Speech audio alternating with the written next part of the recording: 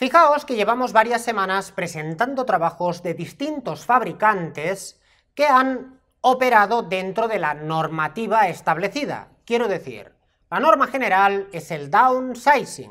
Esto nos da motores de 2, de 3 cilindros, con potencias que van un poquito más allá de lo que cabría esperar de estos pequeños motores, limitándolos en muchos casos en la vida útil de esas unidades. Hoy os quiero hablar de Mazda y lo que ha significado para el mundo del motor el Sky Active.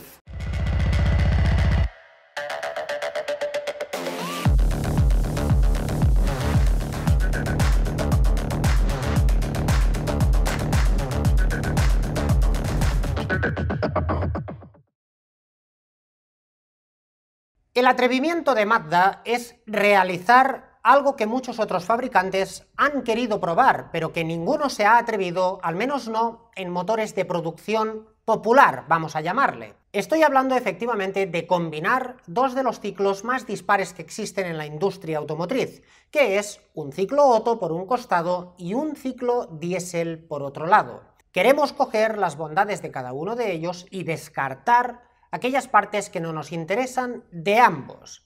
Es de sobras conocido que todo motor aumenta su rendimiento final cuanto mayor es la relación de compresión. Es decir, cuantas más veces cabe el volumen de la cámara de compresión dentro del cilindro, mayor es la presión final dentro de la cámara y mayor es el rendimiento que produciremos con el mismo combustible. Evidentemente, todo esto con muchos matices que no son del tema de hoy. Si aumentamos la carrera manteniendo la cámara de combustión, tendremos un motor con una relación de compresión mayor. O bien mantenemos la carrera y disminuimos el tamaño de la cámara de compresión y tendremos exactamente lo mismo. Pero cuidado, todo esto no es tan fácil porque si no lo haría cualquiera en su casa. En el garaje de casa tendríamos un motor mejor que el de cualquier factoría. Debemos conocer cuáles son los factores limitantes y por qué no todas las marcas producen motores de una relación de compresión como es esta motorización que tiene 16.3 a 1 en su primera generación y en la segunda algo menos. Lo primero que debemos distinguir es cuando nosotros provocamos un incendio sobre una mezcla dada, que en este caso llamaremos deflagración, de un proceso instantáneo que sucede de forma espontánea. En este caso llamaremos detonación. Para el caso de la deflagración, debemos considerar el hecho de que es un proceso bastante lento y con un frente de llama que va avanzando. Cuando digo bastante lento, estoy hablando en términos de milisegundos, pero en cualquier caso de forma subsónica. Os he preparado un pequeño experimento que nos ayudará a ver este fenómeno que además se repite en cualquier motorización Otto. Fijaos que estoy combinando productos, esto lo hago para ralentizar el proceso de combustión y poder captarlo a 240 frames por segundo. Ahora, si apreciáis, vais a ver unos círculos alrededor de esta fuente de calor que avanzan hacia adelante en color azul, antes justo de aparecer las llamas. Bueno, es una imagen bastante resolutiva de lo que sucede dentro de una cámara de combustión. Vamos ahora a ver únicamente esta parte que nos interesa del avance de la llama porque es importante darse cuenta de lo que sucede. Como veis, este avance de frente de llama nace justo en la fuente de calor y avanza progresivamente hasta el final del espacio que contiene el combustible y el comburente también, evidentemente. En el caso de la detonación, esto no es así. Siempre que tenemos un evento que sucede a velocidad supersónica, como es el caso de la detonación, aparece una onda de choque en la parte frontal y una reacción en la parte trasera. Algo parecido a lo que vemos en esta imagen de un maravilloso McDonnell Douglas F-18 Horner en el momento de romper la barrera del sonido. Ese cono que estamos viendo en la imagen es justo lo que sucede en cualquier detonación. Esto es algo que implica roturas en muchos casos. Volviendo a nuestro campo, la aparición de la detonación depende básicamente de dos factores. En realidad de tres si tenemos en cuenta el octanaje, pero hoy no lo vamos a tener en cuenta, lo dejamos para otro día, puesto que todas las verificaciones que hagamos las hacemos con el mismo producto, por tanto entendemos que el octanaje no será un obstáculo. Vamos ahora con las dos que sí que nos marcarán y de cerca el devenir de este tipo de detonación. El primer factor a tener en cuenta es, como no, la proporción que disponemos de combustible y de comburente. Es muy importante tener en cuenta que las proporciones importan y además bastante. Esto en la naturaleza normalmente no nos damos cuenta y no nos damos cuenta porque tenemos un reactivo limitante, en este caso el combustible, y normalmente tenemos disponibilidad total de comburente, en este caso oxígeno. Es algo parecido a lo que sucedería cuando prendemos una hoguera. Siempre nos fijamos en la cantidad de troncos, pero jamás pensamos en la cantidad de aire, el oxígeno del mismo, que vamos a necesitar para poder quemar todos los troncos que nosotros aportemos. En un recinto cerrado, como es la cámara de combustión típica de cualquier motor, somos nosotros quienes aportamos ambos reactivos, combustible y comburente. Consideramos que disponemos de una mezcla perfecta cuando tenemos 14.7 partes de aire por cada parte de combustible, y a esto le llamamos mezcla estequiométrica. El segundo factor a tener en cuenta es algo que sucede de forma natural dentro de cualquier cilindro. El aire encerrado en un cilindro, al comprimirlo, le quitamos espacio, y esas moléculas que tenemos ocupando este espacio aumentan la frecuencia de choque contra las paredes del recinto y contra las moléculas que tenemos a su alrededor. Esto origina que aumente la presión y la temperatura de la cámara de combustión hasta el punto que no necesitamos el aporte de un calor extraordinario para poder iniciar la combustión. Y este es uno de los limitantes más severos que tenemos en cualquier motorización. Efectivamente, si todos los fabricantes no se han tirado a aumentar la relación de compresión, es porque hay cosas que nos obligan a contenerla. La detonación aparece en motorizaciones clásicas a partir de los 10 a 1 y en motorizaciones modernas a partir de los 12 a 1. Debemos ser conscientes que la motorización Skyactiv X está trabajando con una relación de compresión de 16.3 a 1. Aumentar un punto en este tipo de relación es sumamente importante. Aún más lo es aumentar 4.3 puntos por arriba de lo que estábamos acostumbrados. Cuando tenemos una mezcla estequiométrica, el encendido es mucho más fructífero que si nos desviamos de esta estequiometría. Por tanto, lo que vamos a considerar es el hecho de empobrecer la mezcla de tal modo que sea complejo de encender de autoencenderse. Y cuidado porque la aparición de una detonación desvirtuaría cualquier motorización. De gasolina, se entiende. Es evidente que una mezcla cuanto más estequiométrica es, más reactiva se convierte, más sencillo es que al acercarle una fuente de calor se encienda, reaccione. Esta parte es la que vamos a intentar entender. Imaginar que colocamos dentro de una habitación a 75 individuos, de los cuales 5 son morenos y 70 son rubios. E intentamos que en medio segundo salgan en grupos de 14 rubios por cada moreno por la puerta principal. Esto es algo que vamos a poder lograr, con cierta dificultad evidentemente, pero lo conseguiremos porque todos ellos están casados a la perfección. Ahora bien, ¿qué sucedería si en lugar de tener 70 rubios disponemos de 90 rubios? y los mismos cinco morenos. Evidentemente, si la proporción va a ser la misma, pues ya no vamos a ser capaces de poder casar estos grupos ni en este tiempo ni de forma completa. Esto es algo que sucede exactamente de la misma manera dentro de una combustión. Vamos ahora a mostrar esto de forma gráfica con un pequeño experimento. Cuando nosotros colocamos muchas partes de aire, o muchísimas menos, dificultamos mucho el encendido de este combustible.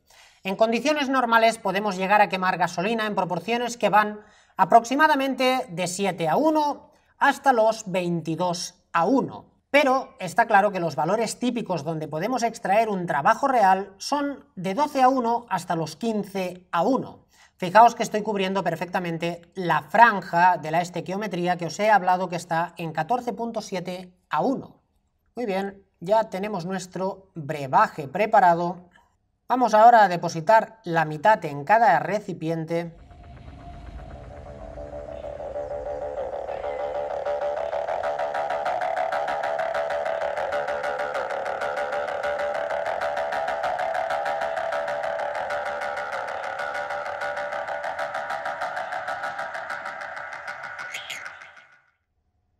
Si os fijáis, al acercar la fuente de calor al recipiente, los propios gases evaporados entran en combustión. Si ahora en el recipiente 2 batimos esa pequeña porción de combustible con la enorme cantidad de agua que tenemos en él, dificultaremos bastante el encendido. Fijaos.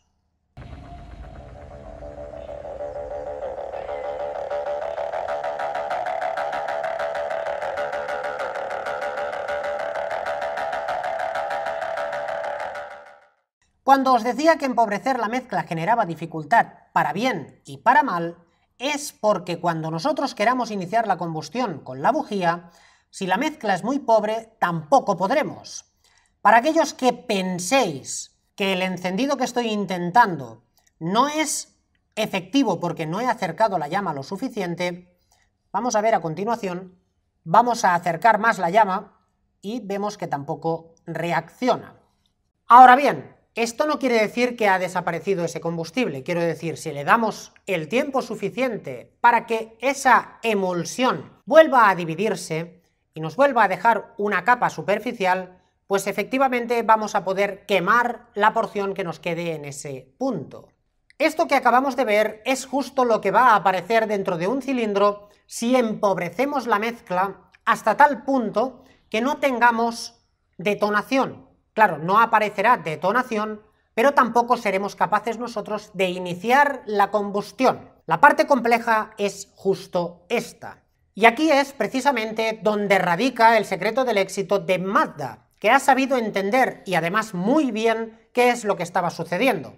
Si nosotros tenemos una masa grande empobrecida, no va a arder, al menos no cuando nosotros queramos. Pero si somos capaces de concentrar una proporción ideal en un punto, entonces sí podremos iniciar por lo menos esa parte.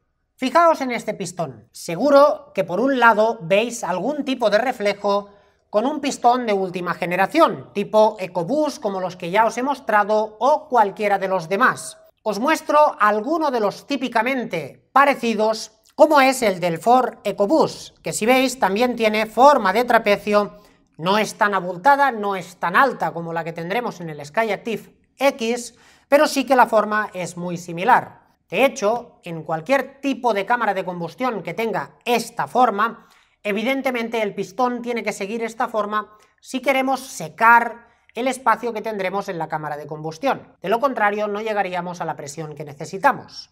Por otro lado, alguno de vosotros se habrá fijado que tenemos una cámara de combustión central que nos recuerda bastante a las motorizaciones diésel. Si os fijáis, un pistón de inyección directa de un diésel pasa por disponer de una cámara de combustión donde podamos inyectar ese diésel pulverizado. Efectivamente, este es un pistón de un diésel y tiene un diámetro de cámara de combustión mayor, bastante mayor, que lo que tenemos en el Skyactiv X. Pero la comunión de estos dos factores produce que tengamos dos escenarios distintos en la cámara de combustión. Alguno que lleve un tiempo ya en esto, también es posible que le recuerde a aquellos maravillosos motores Mercedes de antaño que disponían de una precámara instalada en la propia culata y que la salida de la propia precámara estaba más o menos dibujada en la cabeza del pistón. Efectivamente, en ambos casos pretendemos aproximadamente lo mismo, pero dadas las circunstancias y que estamos en una era de inyección directa, prescindimos de este ejemplo, pero sería totalmente válido para una imagen mental.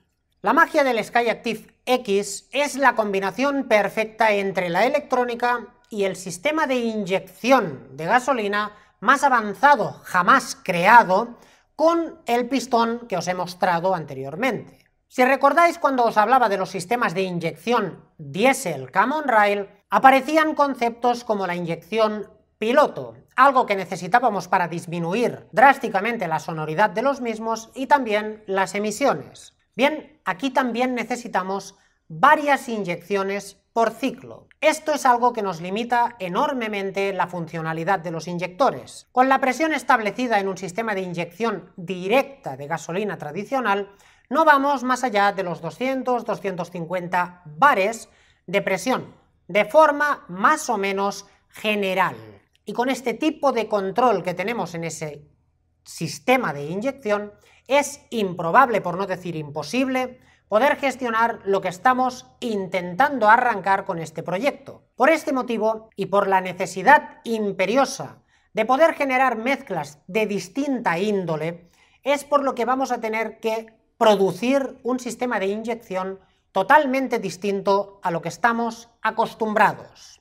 Este sistema de inyección ideal lo que pretende precisamente es generar un tipo de apertura por un lapso de tiempo tan y tan corto que seamos capaces de poder generar, por el mismo efecto swirl o tumble, en cada caso lo suyo, una mezcla dentro del cilindro, pero muy muy pobre. El secreto siempre es que sea muy muy pobre. De este modo, en el momento que nosotros alcemos el propio pistón dentro del cilindro, no será capaz de poder encenderse de forma espontánea. No nos va a aparecer la detonación por ningún lado.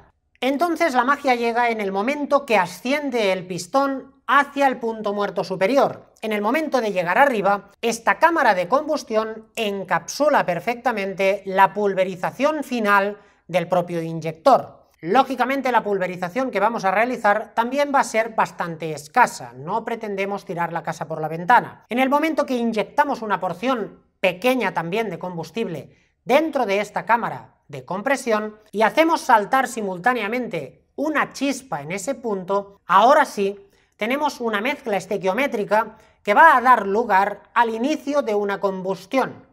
Esta combustión sí será capaz de aumentar el calor y también la presión dentro de la cámara de combustión. De este modo, el resto de mezcla que teníamos, que era pobre o bastante pobre, ahora sí va a ser capaz de llegar al autoencendido, que es exactamente lo que podéis ver en esta lámina. La parte central se inicia de forma tradicional como en cualquier motor y en el momento que el frente de llama es capaz de aumentar tanto la presión como el calor generado en ese punto, efectivamente llegamos a poder encender las demás zonas. Esto es algo que tiene diversos beneficios, entre ellos la celeridad con la que somos capaces de realizar la combustión y también que vamos a iniciar esta combustión en diversos puntos de forma simultánea. Fijaos que en la izquierda tenemos un 4 para las tres imágenes inferiores y un 20 para las tres superiores. En la parte superior, las tres imágenes que estamos viendo es una deflagración tradicional y en la inferior es un autoencendido típico. Fijaos que en el auto encendido tenemos diversos puntos de acción simultánea. Esto nos lleva a que el encendido general en 4 grados de giro del motor sea superior a los 20 de una deflagración. Esto ya nos está indicando que la marca de combustión la vamos a conseguir mucho antes cuando tenemos autoencendido que si no lo tenemos, porque es mucho más espontáneo y también radical. Esto nos lleva a generar presión muy rápidamente, cuando tenemos el pistón muy arriba y por ello aprovechar mucho más la energía generada en la combustión. Lo que quiero que os fijéis es que dentro de este clip tenemos un par de líneas en rojo. La primera línea es cuando somos capaces de completar la combustión tanto en el Skyactiv como en cualquier motorización diésel. Y la segunda línea nos está indicando cuando haría lo propio un motor tradicional de gasolina. Esta enorme diferencia que hay entre uno y otro es el aprovechamiento extra que vamos a ser capaces de dar a esa combustión. Debemos ser conscientes que cuanto más inclinada está la biela, más pérdida tenemos de energía, menos aprovecharemos la expansión, porque ya hemos gastado una gran cantidad de la carrera en terminar propiamente la combustión que por tanto no llegará a la presión final que queríamos. Y por tanto perdemos eficiencia, claramente. Dado que no es oro todo lo que reluce, el Skyactiv también tiene ciertas limitaciones, o más que limitaciones, lo que tiene es unas necesidades que hay que poder cumplir. Y cuidado, aquellos que habéis estado atentos al vídeo, seguro que intuís por dónde voy. Fijaos que estamos trabajando con una mezcla pobre, pero evidentemente es pobre para que no detone. Pero cuidado, no puede estar demasiado alejada de esa detonación porque nos interesa que pueda llegar al autoencendido cuando nosotros queremos. Y la línea es muy estrecha. y tiene que ser algo repetitivo, a voluntad, cuando nosotros queramos poder encender. Para poder conseguir esto, debemos estar muy muy cerca de poder lograr esto. ¿Cuándo? Cuando tengamos ese encendido extraordinario dentro de la cámara de combustión. Eso provocará el aumento de presión y de calor que propicia el encendido de las demás zonas. Esto solo será posible si el llenado del cilindro es repetitivo también. Y dado que el margen de trabajo de un motor atmosférico y de gasolina es muy muy amplio, siempre aparecen ciertos fantasmas que afectan a toda motorización atmosférica. Efectivamente, estoy hablando de la ingesta de aire dentro de los cilindros. ¿Y cómo solucionamos esto? Pues efectivamente, esto lo solucionamos con la introducción de un compresor. Cuidado, que nadie se emocione. El hecho de colocar un compresor no siempre tiene como pretensión aumentar la potencia o llenar más el motor. Efectivamente, sí lo llenamos más de aire, pero no pretendemos sobrealimentar el motor, sino alimentarlo de forma muy precisa y durante todo el rango de trabajo de esa motorización, en específico de esta motorización. No estamos turboalimentando nada. Estamos trabajando con un compresor Roots y accionaremos el compresor Roots a voluntad. Conectaremos y desconectaremos de forma magnética, como ya lo hemos visto en Volkswagen y en otras marcas, a voluntad de la unidad de mando. En el momento que captemos la necesidad de llenar ese cilindro con mayor cantidad de aire, pues vamos a utilizar el roots para hacerlo. De lo contrario, quedaríamos faltados de aire, algo que no nos podemos permitir en este tipo de motorización, específicamente por este tipo de alimentación con la que estamos trabajando. Otro grave problema que debe afrontar este tipo de motorización es la velocidad con la que debemos inyectar y la cantidad reducidísima de combustible que vamos a inyectar. Todo ello además tiene que ser con una pulverización exquisita. Esto lo vamos a lograr con un sistema de inyección que se parece mucho más a un Common Rail Diesel que no a una inyección de gasolina tradicional. Estamos acostumbrados normalmente a trabajar, como he dicho, entre 100 y 200 bares, algo más, con inyectores más o menos del estilo del que podemos ver en la parte izquierda de la imagen. Lógicamente con esto no vamos a ningún lado, al menos no con este tipo de motorización. Por ello es que vamos a incluir en el sistema de inyección algo más parecido a una tobera de un motor diésel que no a uno de los de gasolina, donde dispondremos de unos orificios de salida muy, muy, muy reducidos. De esta manera pulverizamos muchísimo, atomizamos mucho el combustible, de manera que a la hora de mezclarse sea muy, muy rápido. Esto nos interesa especialmente en esa última inyección. Tener en cuenta que la primera pulverización dentro del cilindro vamos a tener muchísimo tiempo, en términos generales, para poder mezclarlo con el aire que tenemos dentro. Pero la última inyección, la que sucede en el momento que tenemos el pistón en el punto muerto superior, esa es muy muy rápida y cuidado, no disponemos de tiempo. El tiempo de evaporación es lo que nos va a perjudicar en sobremanera. Por tanto, necesitamos una presión descomunal. En este caso estamos trabajando a mil bares de presión. Tener en cuenta que una columna de agua de 10 metros de altura es capaz de generar una presión de un solo bar. Por tanto, cuando hablamos de mil bares, es semejante a la profundidad de la fosa de las Marianas. 10 kilómetros de columna de agua sería aproximadamente a la presión que estamos trabajando en un inyector de combustible. Pero la dificultad mayor no es esta, sino el hecho de que la gasolina no es lubricante. Por tanto, cuanto más la presurizamos, más dificultad existe en los componentes que tienen tanto que presurizar como controlar ese combustible.